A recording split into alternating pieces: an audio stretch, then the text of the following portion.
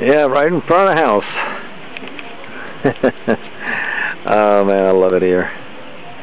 They got away from somewhere.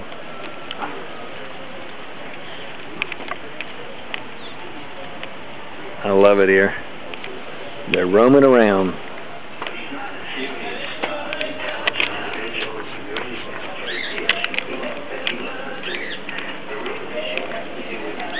The United States, the SWAT teams would come and blow these cows away.